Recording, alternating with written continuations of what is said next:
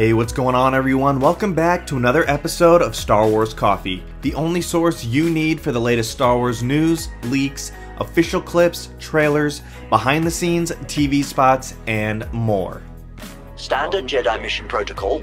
While you're here, don't forget to like this video, subscribe to the channel, and turn on that bell notification so that you're always notified the second a new Star Wars video goes live. I want more. But with that out of the way, let's get into a galaxy far, far away and talk about today's video.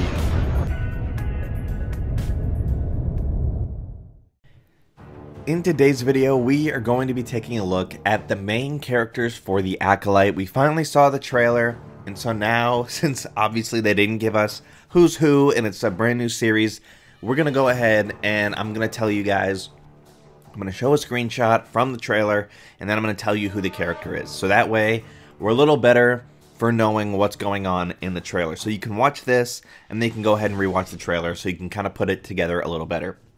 So, Amanda Stenberg is the main character. She plays someone called Mae, that's M-A-E.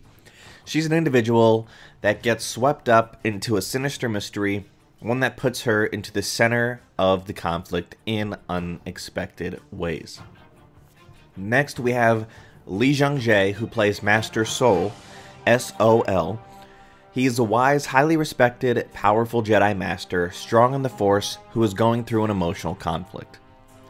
Following that, we have Manny Jacinto, who plays Qimir, Q I M I R, a former smuggler who now makes his living as a trader he procures unusual things and enjoys a life of leisure.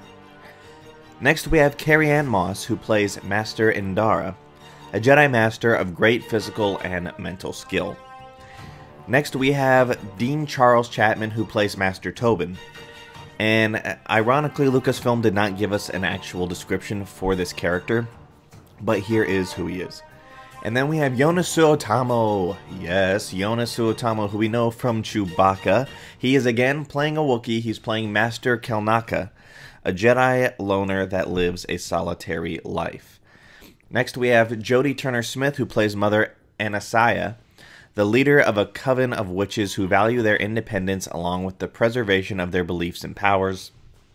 Then we have Charlie Barnett, who plays Yord Fandar, who is a Jedi Knight and Jedi Temple Guardian, is an overachiever and a rule follower.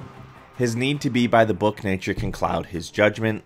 Next we have Dafne Keen, who plays Jecki Lon, a Jedi Padawan, the apprentice to Lee Jung-jae's Master Sol.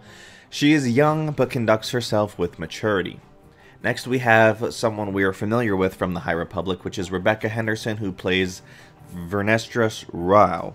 Vernestra Rwoh an elder Jedi Master who has ascended the ranks of Jedi from a teenage prodigy to a leader in the Jedi Order. And she has one of the coolest lightsabers. And it is purple and it looks kind of like a whip. So it's pretty cool. But that is what you guys need to know about the characters thus far. There's your basic descriptions for each one of them. So now, if you want, you can go ahead and rewatch the trailer and know who these characters are. But that wraps it up for me here in this video. Thank you guys for watching. May God bless you, and may the Force be with you always. Is it over already? Oh, man!